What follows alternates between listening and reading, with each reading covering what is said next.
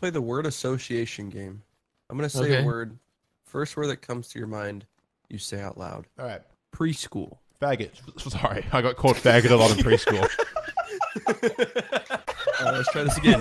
Uh, elementary school. faggot. But, uh, you know what? I had a rough childhood. Okay. Sorry.